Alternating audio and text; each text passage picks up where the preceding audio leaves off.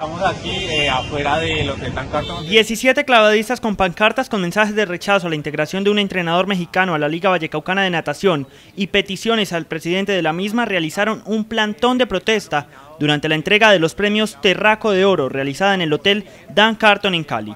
Estamos aquí eh, afuera del Hotel Dan Carton donde se celebra la ceremonia eh, El Terraco de Oro donde premian a supuestamente los mejores dirigentes de, del deporte vallecaucano eh, está nominado el presidente de la Liga Vallecaucana de Natación a mejor dirigente.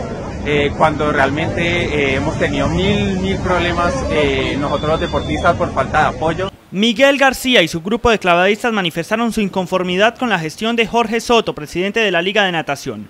Las diferencias e inconformidades con el directivo los llevaron a esa movilización, aseguró García. Pues hay un problema administrativo muy grande, yo diría que es negligencia administrativa porque se tomó una mala decisión y no son capaces de, responder hacia ella, o sea, ponerse los pantalones y decir, bueno, la embarré, cambiemos las cosas. No, ellos ya tomaron la decisión y van a seguir adelante sin importar los sueños de los muchachos, sin importar qué pueda pasar con Claudio del Valle. La contratación del entrenador mexicano Antonio Valderrama es uno de los mayores detonantes de esa protesta. Eric Caicedo afirma que este instructor no les brinda los lineamientos técnicos necesarios para mantener el alto nivel competitivo de los clavadistas vallecaucanos. No estamos dispuestos a que una persona, una no, dos personas que son los entrenadores que ahorita están nombrados por Indervalle, eh, que no están capacitadas para llevar un equipo del nivel en que nosotros estamos, de que venimos de ser campeones nacionales eh, por equipos en, en el Campeonato Nacional Interligas del año pasado, en el Campeonato Nacional Interclubes.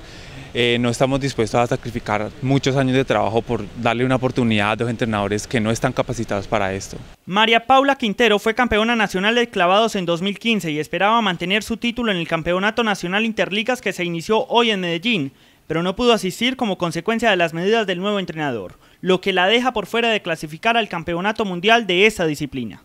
Ya nos perdimos el Nacional Interligas, era clasificación a Mundial y pues yo tenía posibilidades de ir y ya, mi sueño se, ya no puedo ir sencillamente porque no, no estoy en, en, el chequeo para poder ir al Mundial, entonces se, se dañó mi sueño, se troncó por culpa de ellos. Ahora estos deportistas esperan reunirse con el gerente de Indervalle, Felipe López, y que sea él quien les brinde una solución que les permita regresar a los trampolines y plataformas para representar a nuestro departamento.